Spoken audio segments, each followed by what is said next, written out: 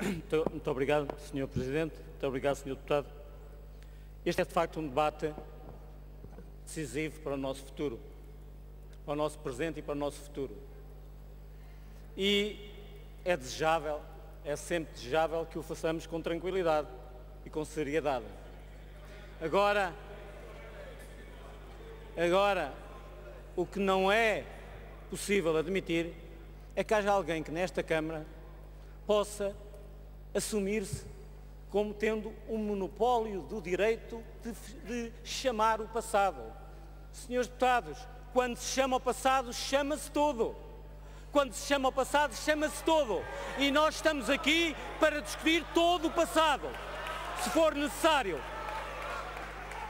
O que não é sério do ponto de vista político, já que os senhores deputados Senhores estão deputados, hoje senhores deputados. muito sensíveis, o que não é sério do ponto de vista político é não assumir as responsabilidades pelas posições que se tomaram e pelas propostas que se fizeram. E isso ficou bem claro aqui hoje neste debate.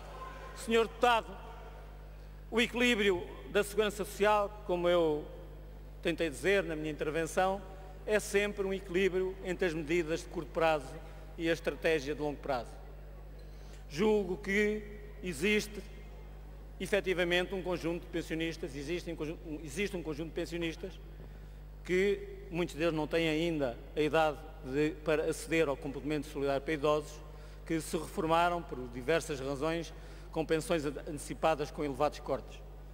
É possível tentar estudar uma solução para minimizar esse impacto e falo-emos em conjunto, sempre na perspectiva de que o combate aos desequilíbrios e às fragilidades sociais nunca pode ser desligado do combate pela construção das soluções que garantam às portuguesas e aos portugueses que podem confiar no seu sistema público de pensões que ele tem problemas, que ele enfrenta, enfrenta enormes, inusitados desafios, nomeadamente do ponto de vista demográfico, mas se nós quisermos, se todos quisermos, se todos percebermos o que é que o povo português quer, podemos ultrapassar essas dificuldades.